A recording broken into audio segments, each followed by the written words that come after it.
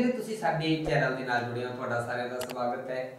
ਖਾਸ ਕਰਕੇ ਲਤਾੜੇ ਸਮਾਜ ਦੇ ਵਾਸਤੇ ਅੱਜ ਦਾ ਦਿਨ ਜਿਹੜਾ 27 ਨਵੰਬਰ ਦਾ ਇਤਿਹਾਸਕ ਦਿਨ ਹੈ, ਕਿਉਂਕਿ 27 ਨਵੰਬਰ 1999 ਨੂੰ ਪੰਜਾਬ ਦੇ ਵਿੱਚੋਂ ਬਹੁਜਨ ਸਮਾਜ ਪਾਰਟੀ ਦੇ ਵੱਲੋਂ ਸ਼੍ਰੀ ਹਰਭਜਨ ਲਾਖਾ ਜੀ ਪਹਿਲੀ ਵਾਰ ਐਮਪੀ ਪਹਿਲੀ ਵਾਰ ਔਰ ਪਹਿਲੇ ਐਮਪੀ ਬਣੇ ਸਨ। ਤੇ ਇਸ ਤੋਂ ਪਹਿਲਾਂ ਤਾਂ ਜਿਹੜਾ ਕੱਲ ਦਾ ਦਿਨ ਲੰਘ ਕੇ ਗਿਆ 26 ਨਵੰਬਰ ਨੂੰ 26 ਨਵੰਬਰ 1949 ਨੂੰ ਭਾਰਤ ਦਾ ਦੇਸ਼ ਆਜ਼ਾਦ ਭਾਰਤ ਦਾ ਆਪਣਾ ਸੰਵਿਧਾਨ, ਉਹ ਜਿਹੜਾ ਤਿਆਰ ਹੋ ਚੁੱਕਾ ਸੀਗਾ ਤਾਂ ਜਿਹੜਾ 26 ਜਨਵਰੀ 1950 ਨੂੰ ਲਾਗੂ ਹੋਇਆ ਸੀ। ਬਾਬਾ ਸਾਹਿਬ ਭੀਮਰਾਓ ਡਾਕਟਰ ਅੰਬੇਡਕਰ ਜੀ ਨੇ ਬੜੀ ਮਿਹਨਤ, ਜਦੋਜਹਿਦ ਕਰਕੇ ਉਸ ਲਤਾੜੇ ਸਮਾਜ ਨੂੰ ਬਰਾਬਰਤਾ ਦੇ ਹੱਕ ਦੇਣ ਦੇ ਵਾਸਤੇ ਬੜੀ ਮਿਹਨਤ ਕੀਤੀ ਸੀ।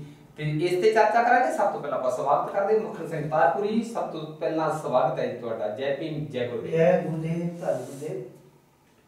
ਕੀ ਕਹਿਣਾ ਚਾਹੋਗੇ? ਅੱਜ ਦਾ ਦਿਨ ਬੜਾ ਲਤਾੜੇ ਸਮਾਜ ਦੇ ਬੜਾ ਇਤਿਹਾਸਕ ਹੈ ਕਿਉਂਕਿ ਇਸ ਲਤਾੜੇ ਸਮਾਜ ਵੱਲੋਂ ਜਿਹੜੇ ਬਾਬਾ ਸਾਹਿਬ ਭੀਮਰਾਓ ਡਾਕਟਰ ਅੰਬੇਡਕਰ ਜੀ ਨੇ ਸੰਵਿਧਾਨਕ ਹੱਕ ਦਿੱਤੇ ਸੀ ਉਹਨਾਂ ਹੱਕਾਂ ਅਧਿਕਾਰਾਂ ਦੀ ਬਦੌਲਤ ਪੰਜਾਬ ਦੇ ਵਿੱਚ ਬਹੁਜਨ ਸਮਾਜ ਪਾਰਟੀ ਦੇ ਵੱਲੋਂ ਸਹਿਬ ਕਾਂਸ਼ੀ ਰਾਮ ਜੀ ਦੀ ਮਿਹਨਤ ਦੇ ਸਦਕਾ ਪੰਜਾਬ ਦੇ ਵਿੱਚ ਪਹਿਲੀ ਵਾਰ ਤੇ ਪਹਿਲਾ ਜਿਹੜਾ ਐਮਪੀ ਬਣਿਆ ਸੀਗਾ, ਉਹ ਬਹੁਜਨ ਸਮਾਜ ਪਾਰਟੀ ਦੇ ਵੱਲੋਂ ਸ਼੍ਰੀ ਹਰਭਜਨ ਲਾਖਾ ਜੀ ਬਣੇ ਸਨ। ਕੀ ਕਹਿਣਾ ਚਾਹੁੰਦੇ ਮੈਂ ਅੱਜ ਕੰਚੀ ਟੀਵੀ ਦੇ ਮਾਧਿਅਮ ਤੋਂ ਕਹਿਣਾ ਚਾਹੁੰਦਾ ਕਿ ਬਹੁਜਨ ਸਮਾਜ ਪਾਰਟੀ ਬਣਨ ਤੋਂ ਪਹਿਲਾਂ ਜਦੋਂ ਡੀਐਸ 4 ਬਣੀਆਂ, ਲਾਖਾ ਜੀ ਵੀ ਉਦੋਂ ਕੰਮ ਕਰਦੇ ਰਹੇ ਸੀ, ਸਾਰੇ ਲੋਕ ਕਰਦੇ ਰਹੇ ਆ।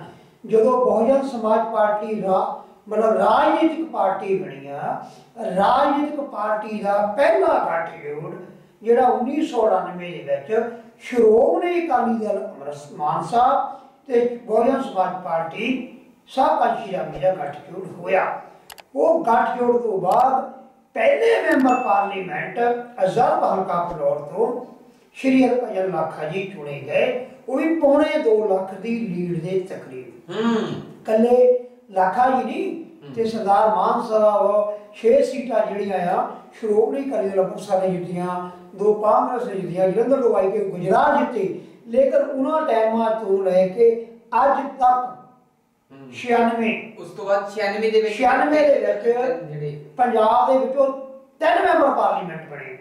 ਫਲੋਰ ਤੋਂ ਫੇਰ ਭਾਈ ਲਾਖਾ ਜੀ ਬਣੇ, ਹੁਸ਼ਿਆਰਪੁਰ ਤੋਂ ਸਾਪਾਜੀ ਰਾਮ ਜੀ ਬਣੇ, ਫਿਰੋਜ਼ਪੁਰ ਤੋਂ ਮਨਮੋਹਨ ਸਿੰਘ ਫਰੀਆਂ ਬਣੇ ਬਣੇ ਉਦੋਂ ਸਾਹਿਬ ਕੰਸ਼ੀ ਰਾਮ ਜੀ ਨੇ ਕਹਿ ਦਿੱਤਾ ਸੀ ਕਿ ਮੈਨੂੰ ਲੱਗਦਾ ਕਿ ਹੁਣ ਮੇਰਾ 85% ਜਿਹੜਾ ਸਮਾਜ ਵਾ, ਉਹ ਜਾਗ ਗਿਆ ਤੇ ਮੈਨੂੰ ਲੱਗਦਾ ਕਿ ਮੇਰੀ ਮਿਹਨਤ ਕੀਤੀ ਉਹ ਜਿਹੜੀ ਆ, ਉਹ ਬਾਹਰ ਆ ਗਈ।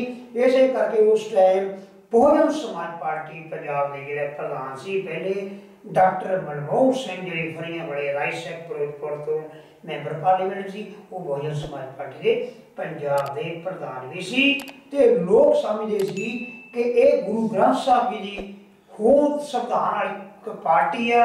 ਉਹਨੂੰ ਸੰਵਿਧਾਨ ਮੰਨਦੀ ਇਸ ਕਰਕੇ ਇਹਦੇ ਵਿੱਚ ਮਤਭੇਦ ਹੈ ਨਹੀਂ। ਇਸ ਕਰਕੇ ਉਸ ਟਾਈਮ ਤੋਂ ਅੱਜ ਤੱਕ ਦਾ ਸਾਹ ਕਾਂਸ਼ੀ ਰਾਮ ਜੀ ਤੋਂ ਬਾਅਦ ਜਾਂ ਲਾਖਾ ਜੀ ਤੋਂ ਬਾਅਦ ਜਾਂ ਜਿਹੜੀ ਮਿਸ਼ਨਰੀ ਕਰੀਮ ਤੋਂ ਬਾਅਦ ਪੰਜਾਬ ਦਾ ਰਿਜ਼ਲਟ ਨਹੀਂ ਆ ਸਕਿਆ।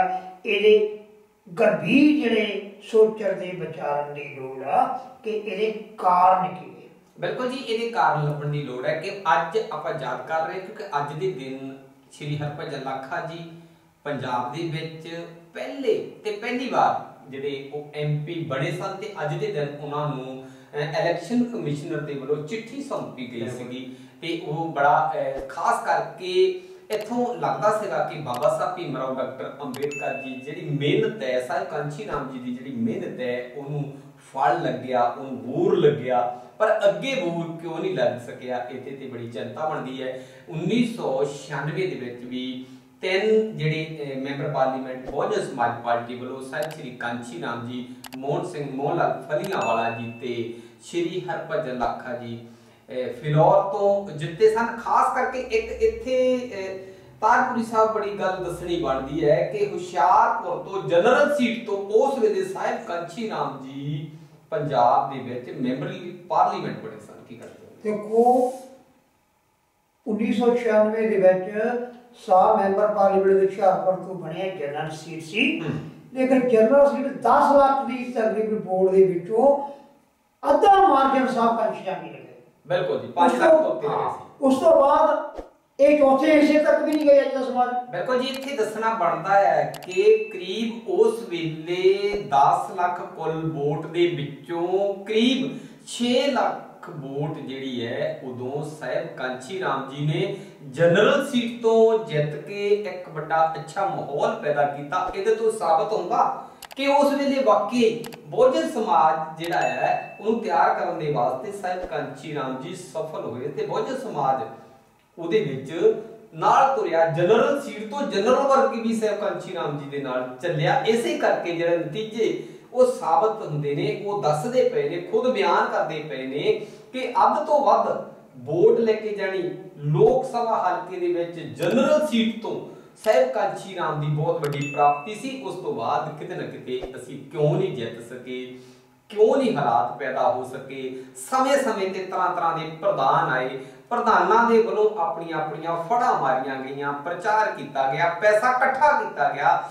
ਬਹੁਜਨ ਸਮਾਜ ਦਾ ਪੈਸਾ ਜਿਹੜਾ ਆ ਉਹਨੂੰ ਲਗਾਇਆ ਗਿਆ ਖਰਚਾ ਕੀਤਾ। ਖਰਚੇ ਤੋਂ ਬਾਅਦ ਉਹਦਾ ਬੈਨੀਫਿਟ ਉਹਦਾ ਰਿਜ਼ਲਟ ਕਿਉਂ ਨਹੀਂ ਆਇਆ ਇਹਦੇ ਤੇ ਬੜੀ ਸਾਨੂੰ ਚਿੰਤਾ ਕਰਨੀ ਬਣਦੀ ਆ।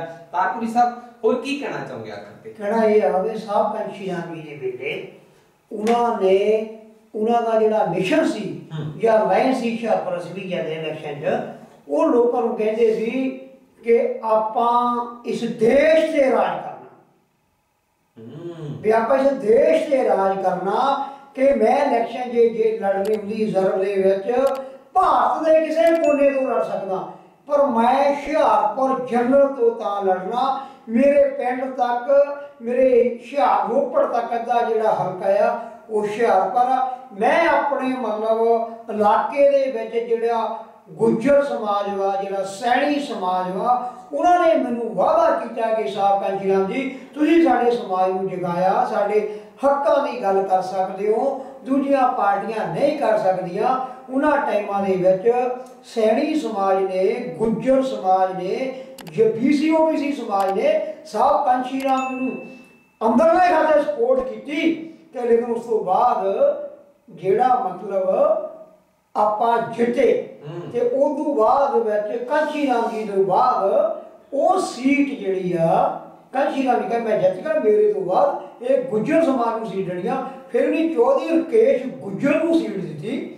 ਉਦੋਂ ਵੀ ਤਕੜਾ ਮੁਕਾਬਲਾ ਹੋਇਆ। ਉਹਨੂੰ ਵੀ ਇਹਨਾਂ ਲੋਕਾਂ ਨੇ ਅਰਵਾ ਪਰਾ ਕਰਕੇ ਮੁੜ ਕੇ ਉਹਨੂੰ ਪੁੱਛਿਆ ਨਹੀਂ। ਰਕੇਸ਼ ਗੁੱਜਰ ਨੇ ਹੁਸ਼ਿਆਰਪੁਰ ਤੋਂ ਸਾਹ ਕਾਂਚੀ ਰਾਮ ਜੀ ਦੇ ਵਿੱਚ ਜਿਹੜੀ ਤਕੜੀ ਫਾਈਟ ਹੋਈ। ਲੇਕਿਨ ਉਦੋਂ ਕਈ ਕਾਰਨ ਆ ਗਏ। ਜਿਹੜੇ ਉਹ ਨਹੀਂ ਜਿੱਤ ਸਕਿਆ। ਨਰਦੂਨੀ ਮਤਲਬ ਲੋਕਾਂ ਦੇ ਮੱਤ ਪੇਟ ਸੀ ਤੇ ਸਾਧਨਾ ਜੀ ਰਾਮ ਜੀ ਨੇ ਜਨਰਲ ਸੀਟ ਜਿੱਤ ਕੇ ਭਾਰਤ ਦੇ ਰਾਸ਼ਟਰਪਤੀ ਨੂੰ ਦੇਸ਼ ਵਿੱਚ ਜਿਹੜੀਆਂ ਕਾਜ ਧਿਰਾਂ ਸੀ, ਉਹਨਾਂ ਨੂੰ ਦੱਸਤਾ ਕਿ ਮੇਰਾ ਸਮਾਜ, ਮੇਰਾ ਤਿਆਰ ਕੀਤਾ ਹੋਇਆ ਸਮਾਜ ਭਾਰਤ ਦੇ ਕਿਸੇ ਕੋਨੇ ਤੋਂ ਵੀ ਇਲੈਕਸ਼ਨ ਲੜ ਸਕਦਾ, ਜਿੱਤ ਸਕਦਾ। ਹੂੰ, ਬਿਲਕੁਲ ਜੀ ਅੱਜ ਆਪਾਂ ਗੱਲ ਕਰ ਰਹੇ ਸੀ ਸ਼੍ਰੀ ਹਰਭਜਨ ਲਾਖਾ ਜੀ, ਜਿਹੜੇ ਪੰਜਾਬ ਦੇ ਵਿੱਚ ਬਹੁਜਨ ਸਮਾਜ ਪਾਰਟੀ ਦੇ ਵੱਲੋਂ ਬਾਬਾ ਸਾਹਿਬ ਭੀਮਰਾਓ ਡਾਕਟਰ ਅੰਬੇਡਕਰ ਜੀ ਦੇ ਦਿੱਤੇ ਸੰਵਿਧਾਨਕ ਹੱਕਾਂ ਤੇ ਸਾਹਿਬ ਕੰਚੀ ਰਾਮ ਜੀ ਦੀ ਦਿੱਤ, ਕੀਤੀ ਮਿਹਨਤ ਦੀ ਬਦੌਲਤ, ਪਹਿਲੀ ਵਾਰ ਪਹਿਲੇ ਮੈਂਬਰ ਪਾਰਲੀਮੈਂਟ ਬਣੇ ਸਨ ਤੇ ਦੂਜੀ ਵਾਰ 1996 ਦੇ ਵਿੱਚ ਬਣੇ ਸਨ ਤੇ ਉਸ ਵੇਲੇ ਤਿੰਨ ਐਮਪੀ ਬਹੁਜਨ ਸਮਾਜ ਪਾਰਟੀ ਦੇ ਵੱਲੋਂ ਬਣੇ ਸਨ। ਉਸ ਤੋਂ ਬਾਅਦ ਐਮਐਲਏ ਵੀ ਕੋਈ ਨਹੀਂ ਬਣ ਸਕਿਆ ਐਮਪੀ ਵੀ ਕੋਈ ਨਹੀਂ ਬਣ ਸਕਿਆ। ਇੱਕ ਚਿੰਤਾ ਦਾ ਵਿਸ਼ਾ, ਆਓ ਆਪਾਂ ਇੱਥੇ ਗੌਰ ਕਰੀਏ। ਬਹੁਤ ਧੰਨਵਾਦ ਜੀ। ਜੈ ਭੀਮ, ਜੈ ਗੁਰੂ। ਜੈ ਗੁਰਦੇਵ ਧੰਨਵਾਦ